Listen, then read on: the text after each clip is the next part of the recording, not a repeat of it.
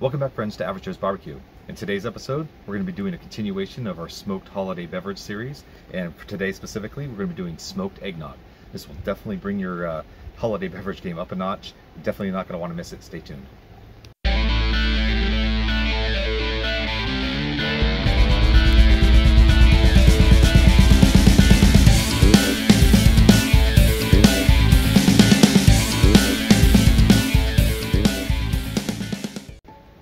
Welcome back. This is this recipe is super simple, doesn't take any time at all. Let's just go ahead and jump right into it. So this is going to be a double smoked eggnog, and how we're going to achieve double smoked is simply this. So got my National Lampoon's moose mug here, and the first step is we're going to be smoking our glass. Now the reason we do this is because uh, the oils from the smoke will adhere to the inside of the glass, giving it one more element of smoky flavor. So that's the first thing we're going to do. So I'm gonna take my cocktail smoker. Now, if you've never seen one of these before, these are widely available on Amazon. Um, a whole bunch of different price ranges from very cheap to very expensive. I'd say do whatever it suits, suits your best interest, you know, whatever your price point may be. But uh, this works well for me, so we're gonna use this today. And so we stick our holiday or our cocktail smoker on a glass. And today I'm gonna be using applewood uh, wood chips. I'm thinking apple is gonna pair well with the eggnog itself. So he's put a few chips in there. And then here I got a little uh, kitchen torch. These are, again, widely available. Most of us already have these. Let's go ahead and give it a light.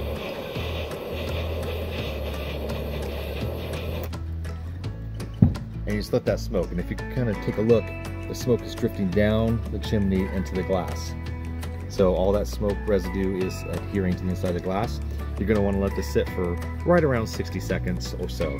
Uh, if you want an even more intense uh, smoky flavor, you can let it sit longer, or if you don't, if it's too strong for you, you can um, not do it as long. I found about 60 seconds works just fine. So we're to let this sit for 60 seconds. Um, we'll bring you right back. All right, it's been 60 seconds. Let's go ahead and give this a look. And I'm going to lift this up, and you can see the smoke drift out of that glass. And you can, kind of see the hazy residue inside this glass. And this is exactly the oils from the smokes that I was talking about, and this is exactly what we want. So that's step one. Step two, eggnog. For the ease of use of this video, I just bought some store-bought eggnog. It's readily available for most of us, but if you have a homemade eggnog recipe you'd like to use, you definitely use that instead.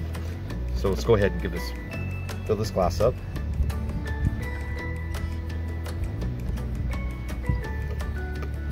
All right, and then step two, we're gonna smoke it again. So we're gonna add a little more wood chips and light it up the same way we did last time.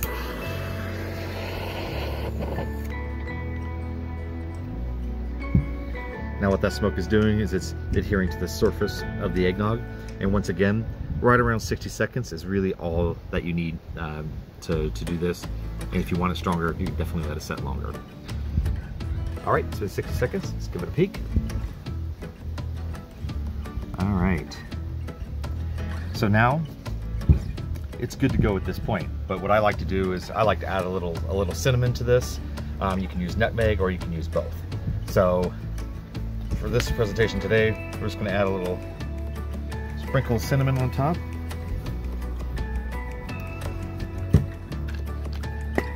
We're gonna take cinnamon stick here we're gonna give that a little stir.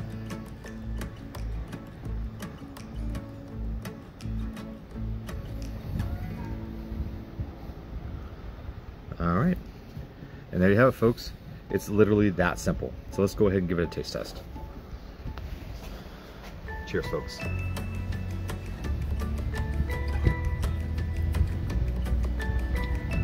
That's good. Right off the bat, you get the smell from the glass. And the eggnog itself has a little tiny hint of smoke. This is really good. Folks, if making stuff unique uh, holiday beverage items uh, for your get-togethers this, this holiday season is something you're into, definitely stay tuned. I'm going to be making a few more of these videos just for this season. It's stuff you're not going to want to miss. And if you like what you see here today, folks, please consider, hitting like and subscribe. It helps keep us putting this content out for you, and it's something that we really enjoy doing, so we want to keep going at it. Um, if you have any suggestions for stuff maybe you'd want to see on this channel, by all means leave a comment below, and I answer every single comment that I get. So folks, give this a try at your next gathering, and uh, like and subscribe. Otherwise, folks, uh, I'll see you next time. Take care.